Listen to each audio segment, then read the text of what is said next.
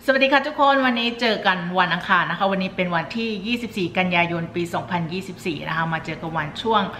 บ่ายๆตอน5โมงเย็นของวันอังคารนะคะ เป็นยังไงบ้างทุกคนสบายดีนะคะ ช่วงนี้แบบอากาศเริ่มเย็นแล้วนะคะทุกคนยังไงก็ดูแลสุขภาพ ขอบคุณทุกคนที่ยังอยู่กับวันนะคะ ขอบคุณทุกไลค์เลย แล้วก็ขอบคุณที่ยังดูวิดีโอนะคะ ก็งานยุ่งมากเลยทุกคนแบบtrain คนช่วงนี้นะคะ แล้วก็คนที่วัน train ก็ ภาษาอังกฤษไม่ได้เลยนะคะเขาฟังก็ไม่ได้พูดก็ไม่ไม่ใช่ไม่ค่อยได้ไม่ได้เลยนะคะ อ่านไม่ได้วันก็เลยบอกว่าโอ้ยเหนื่อยมากก็เลยไม่ได้ทำคลิปเลยนะทุกคน วันนี้ก็เดี๋ยวเรามาอัปเดตในเรื่องของสหรัฐอเมริกานิดหน่อยนะคะ ทุกคนเผื่อจะแบบคนจะคิดถึงคูเปอร์ มาแล้ว สวัสดีครับ ขอบคุณทุกคนที่เอ็นดูคูเปอร์นะคะคูเปอร์ก็อยู่กับวันนะทุกคน ยังอยู่กับวันนะคะคูเปอร์ได้สามขวบเต็มใช่ไหมลูกเนาะโอเค วันนี้เรามาอัปเดตในเรื่องของทางสหรัฐนิดหน่อยนะคะทุกคนเนาะไม่รู้จะทำคลิปอะไร โอเค มาเริ่มที่สภาผู้แทนราษฎรกันก่อนนะคะ แล้วก็มาต่อด้วยเรื่องของโครานะคะ ว่าเป็นยังไงบ้างนะคะ ตอนนี้นะคะ ประธานสภาผู้แทนราษฎรสหรัฐนะคะก็คือ มันจะเข้าช่วงปีงบประมาณใหม่นะทุกคนเขาก็ต้องมีการเสนอร่างกฎหมายงบประมาณใหม่เข้าไปเพื่อจะไม่ให้แบบรัฐบาลมีการชัดดาวนะคะเพื่อเลี่ยงนะคะเลี่ยงการชัดดาวอะไรคุบไม่ต้องจุบเข้าใจไหมก็ประธานสภาผู้แทนราษฎรสหรัฐนะมีการเสนอร่างกฎหมายงบประมาณแบบชั่วข่าว พื่อเลี่ยงการชัดดาวนะคะเกิดขึ้นทุกปีนะคะ อันนี้ก็ประธานไมค์จอห์นสันนะคะ ประธานสภาผู้แทนราษฎรก็อันนี้พรรคริพับลิกันนะคะ สังกัดพรรคริพับลิกันก็ได้มีการเสนอร่างกฎหมายงบประมาณชั่วคราวซึ่งมีระยะเวลานะคะประมาณ 3 เดือนนะคะ โดยร่างกฎหมายฉบับนี้นะคะไม่รวมถึงมาตรการที่เกี่ยวข้องกับผ ผู้อพยพนะคะซึ่งเรียกร้องโดยอดีตประธานาธิบดีโดนัลด์ทรัมป์ในขณะที่สมาชิกสภาผู้แทนราษฎรพยายาม หาแนวทางนะคะที่จะทำให้หน่วยงานของรัฐบาลเนี่ยสามารถหลีกเลี่ยงการถูกปิดดำเนินงานหรือชัดดาวในช่วงปลายเดือนนี้นะคะ ก็ตุลาเนาะมันก็จะเป็นงบประมาณใหม่นะคะ เขาต้องต้องต้องขอใหม่โอเคครูเข้ามายูอยากจะเข้ามา เข้ามาแบบโอเค โอเค ก็มีสำนักงานข่าวนะรอยเตอร์เนาะก็มีการพูดถึงในข้อเสนอดังกล่าวของจอห์นซานา ซึ่งระบุในจดหมายถึงสมาชิกสภาผู้แทนราษฎรนะคะมีการเปิดเผยเพียงไม่กี่วันก่อนที่งบประมาณในปีปัจจุบันซึ่งมีมูลค่า 1.2 ล้านล้านดอลลาร์นะคะจะหมดลงในวันที่ 30 กันยาอย่างที่วันพูดไปนะคะแล้วก็เขาต้องเสนอร่างกฎหมายใหม่ใน เดือนตุลาคมนะคะ โดยสภาผู้แทนราษฎรนะคะมีแผนที่จะโหวตร่างกฎหมายงบประมาณนี้นะคะ เป็นงบประมาณชั่วคราวในวันพุธนะคะ ก็คือพรุ่งนี้วันที่ 25 นะคะ ทั้งนี้นะคะหากหากสภาผู้แทนราษฎรนะคะไม่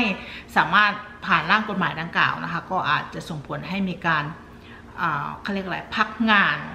พนักงานของรัฐบาลกลางนะคะสหรัฐจำนวนหลายพันคนนะคะแล้วก็จะนำไปสู่การ shutdown หน่วยงานของรัฐบาลเป็นวงกว้างนะคะก่อนที่จะมีการเลือกตั้งเกิดขึ้นของประธานาธิบดีสหรัฐอเมริกานะคะจะมีขึ้นในวันที่ 5 พฤศจิกายนนะคะปีนี้นะคะไม่ว่าจะเป็น Chuck Schumer นะคะเป็นสมาชิกพรรคเดโมแครตนะคะเป็นผู้นำเสียงข้างมาก ของซีเนตนะคะหรือวุสภา แล้วก็ฮาคิมเจฟฟี่นะคะก็เป็นพรรคเดโมแครตนะคะนะคะผู้นำเสียงข้างน้อยของสภาผู้แทนราษฎรนะคะก็มีแสดงความ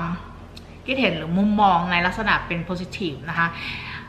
มุมบวกนะคะเกี่ยวกับข้อเสนอดังกล่าว น่าจะผ่านความเห็นชอบจากสภาเห็นเขาว่าอย่างเงี้ยนะคะก็ขอให้ผ่านนะทุกคนวันนี้ก็เอาเรื่องนี้ไปก่อนนะทุกคนต่อไปในเรื่องของโคล่านะคะ ไม่ได้แบบออกมาแบบเป็นข่าวดีหรือข่าวร้ายนะทุกคนก็มีอาร์ติเคิลที่พูดถึงเกี่ยวกับประกันสังคมปี 2025 เกี่ยวกับโคล่านะคะ จะประกาศเมื่อใดนะคะ อันนี้เราก็อัปเดตมาเรื่อยๆเนาะ ในเรื่องของสำนักงงานประกันสังคมนะคะ จะประกาศโคราปี 2025 อย่างเป็นทางการนะคะ ก็จะมีในเรื่องของขีดจำกัดรายได้ฐานรายได้สำหรับปี 2025 แล้วก็เพดานค่าจ้างสำหรับภาษีประกัน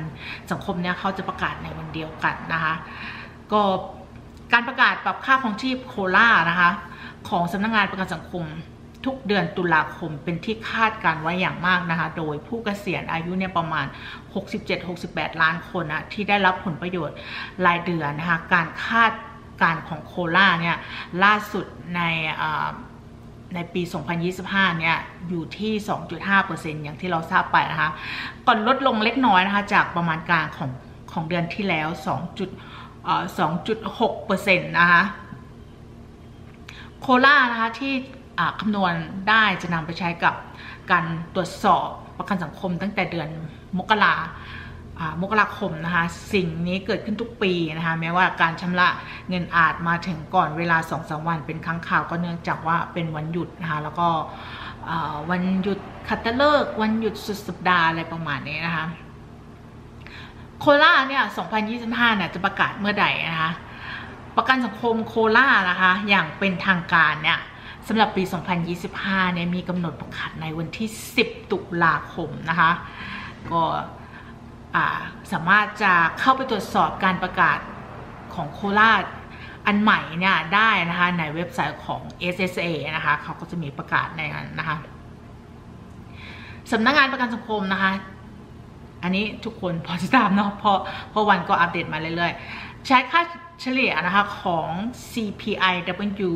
สำหรับเดือนกรกฎาสิงหา แล้วก็กันยาของปีปัจจุบันแล้วก็ปีก่อน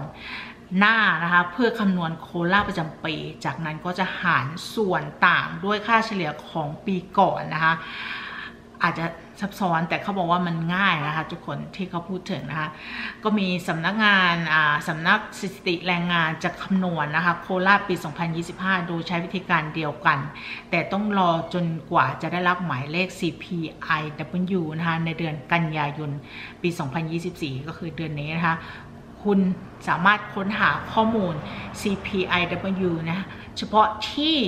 คุณต้องการเพื่อ ทำการคำนวณนนะคะ บนเว็บไซต์ของ SSA ได้อย่างง่ายดายนะคะเขาบอกก็ลองเข้าไปดูนะคะว่าเขาคำนวณยังไงนะคะเขาก็มีวิธีคำนวณง่าย ๆ เขาว่าอย่างนี้นะคะ ทุกคนมันเคยเข้าไปครั้งหนึ่งนะะเข้าไปดู ก็อย่างปีที่แล้วก็ข้อมูล CPI W สำหรับปี 2022 แล้วก็ 2023 เฉลี่ยเนี่ยโคลาอยู่ 3.2%น นะคะะสำหรับปี 2024 เนี่ย เว็บไซต์ SSA นะคะ ให้คำอธิบายที่กระชับนะคะ แล้วก็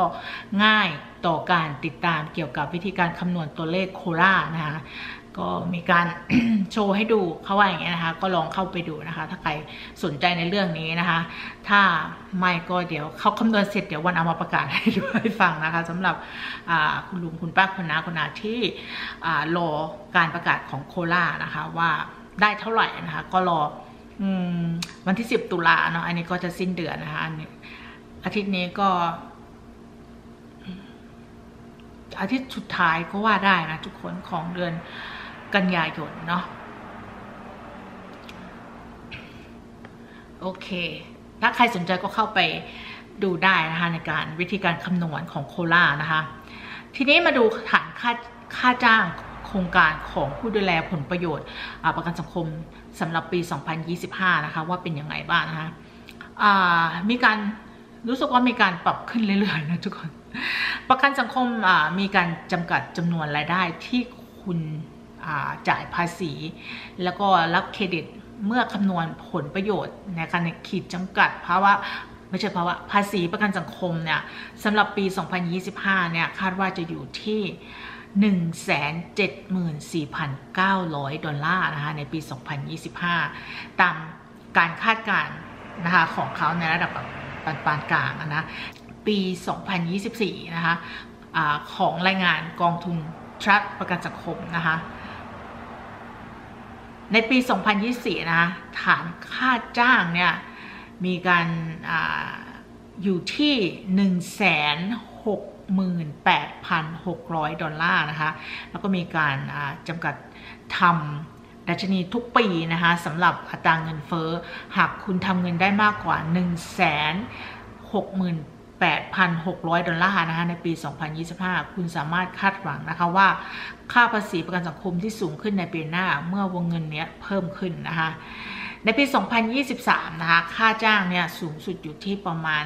162,200 ดอลลาร์นะคะ แล้วก็เพิ่มขึ้นประมาณ 8,400 ดอลลาร์เป็น 168,600 ดอลลาร์ในปี 2024 ก็คือปีนี้นะคะก็นี่เป็นการเพิ่มขึ้นน้อยกว่าการกระโดดจากปี 2022 ถึง 2023 นะคะ เมื่อขีดจำกัดเพิ่มขึ้น 13,200 ดอลลาร์นะคะเอาง่ายคือ มันขึ้นทุกปีนะคะ ปี 2023 นะคะ อยู่ที่ 1 6 2 0 0 ดอลลาร์นะคะ แล้วก็เพิ่มมาเป็น 168,600 นะคะ แล้วก็ขึ้นมา 8,400 นะคะ ดอลลาร์ก็เขาบอกว่าขึ้นน้อยกว่าปี 2022 ถึง 2023 นะคะ อันนั้นเพิ่มขึ้นแบบหมื่นเลยนะคะ 13,200 ดอลลาร์สหรัฐนะคะทุกคน ก็ถือว่าเป็นถ้าถ้าเพิ่มขึ้น 1 7 4 9 0 0เนี่ยก็ถือว่า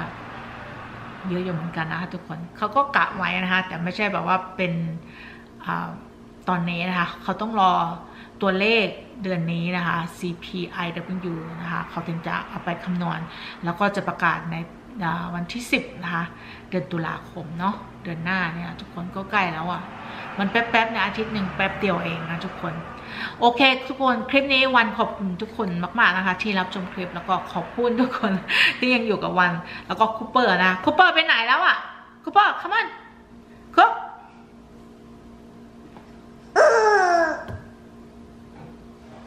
คูเปอร์ขี้เกียจอะทุกคนวันนี้ คูเปอร์คูเปอร์เหนื่อยมากวันนี้วันไปนะคูเปอร์ come on come here come มาสวัสดีหน่อยโอ้โหยสวัสดีครับก่อน bye bye มา say bye bye ก่อน say hi แล้วก็ bye bye